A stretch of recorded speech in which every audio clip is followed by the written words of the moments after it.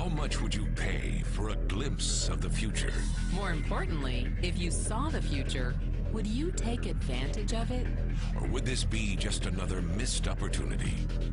The stock you should have sold, the land you could have bought, the opportunity you would have taken but didn't. How many more opportunities are going to fall into your lap? This may be your last chance. Pay attention. うん。Once every decade, something really big comes along. In the 70s, it was VCRs. In the 80s, it was personal computers. In the 90s, it was the internet.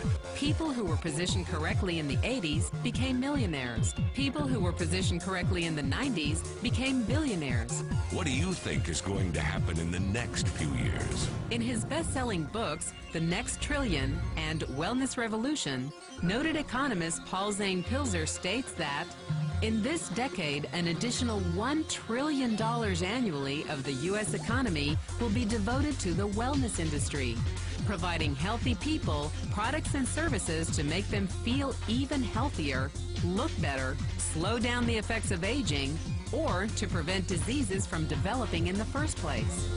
Think about it. Most wellness industry sales did not even exist two decades ago. Today, they already total approximately 300 billion in annual sales, about the same amount spent on new automobiles in the U.S.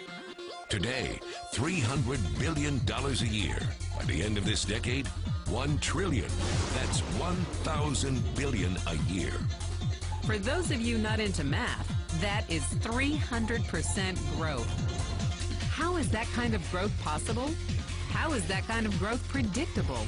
Two words baby boomers. You've been hearing about them for over 20 years. They've been dictating our economy for over 20 years. Isn't it about time you cashed in? The baby boomers are now in their 40s and 50s. Peak earning years, bigger dollars, more spending power. Boomers are already responsible for the housing boom, the sport utility vehicle, personal computers, and the internet. In short, boomers and the things they want are already 6 trillion of our 12 trillion dollar economy. Even though they're less than 30% of our population, they're 50% of our gross domestic product. More significantly, they're about to add 1 trillion to their 6 trillion dollars of spending every year to preserve the one thing they hope works better than any SUV, condo, or computer, their youth. Youth, anti-aging, health, wellness, the next big thing. By taking control of their lives, baby boomers are creating a revolution in wellness. And it is happening fast. Look, changes that used to take place over decades now take place in a few years or less. When Henry Ford invented the Model T in 1908, it took seven decades for automobiles to become a $1 trillion industry. When IBM released the first PC in 1981, it took only one decade for the PC to surpass automobile sales and become a $1 trillion industry. Now, the wellness industry will exceed $1 trillion in just the next five years. $1 trillion. That's $2.7 billion every day, $114 million every hour, $1.9 million every minute. In the 1990s, the number of U.S. millionaire families rose from 3.6 million to 7.2 million. Economist Pilzer predicts that an additional 3.6 million families will become millionaires over the next five years, many of them by working in the wellness industry. So how do you cash in on this wellness revolution? You have four options. One, as a practitioner. Two, as a manufacturer. Three, as a retailer. Or four, as a distributor. Practitioners like doctors, massage therapists, chiropractors, and naturopathic healers stand to make a fortune in the next few years. If they can afford to pay off their school loans. If they can stay ahead of the insurance companies. If they keep trading time for money. Manufacturing is a great business to be in if you have millions to invest in infrastructure, patents, research, shipping and receiving. Retailing? Sure, great opportunity. If you can afford franchise fees, seven day work weeks, advertising, inventory, and employee problems. Distribution? Exactly. Because the greatest personal fortunes of the past three decades were made by people who found better ways of distributing things rather than better ways of making things. People like Sam Walton of Walmart and Fred Smith of Federal Express. But where Walton and Smith found better ways to physically distribute products that consumers already knew they wanted, the new distribution billionaires of this decade will make their fortunes distributing products that consumers don't often know exist.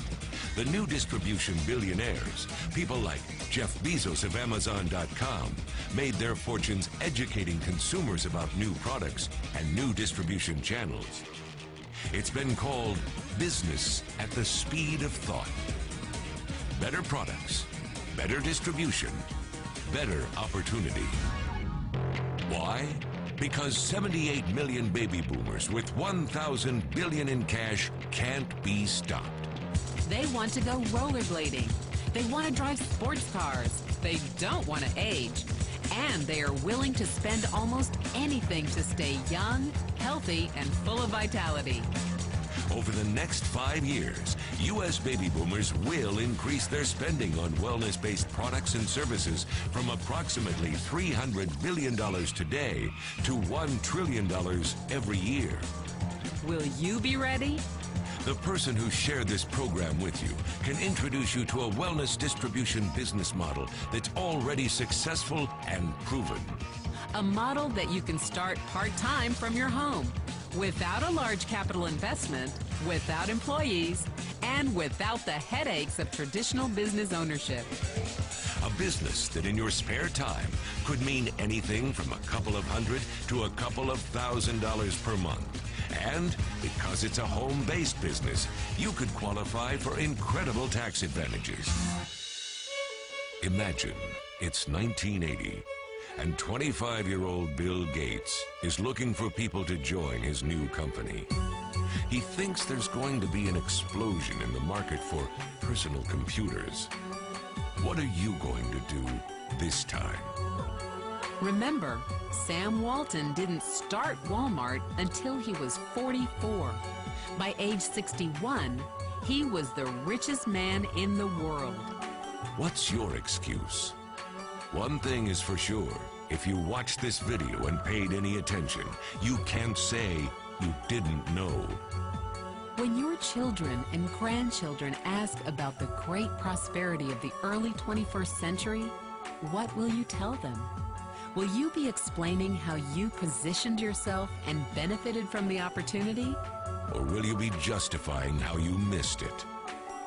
The statistics are real. The trends are real. The timing is real. How many more opportunities are going to fall into your lap? Whatever you do, don't miss this one.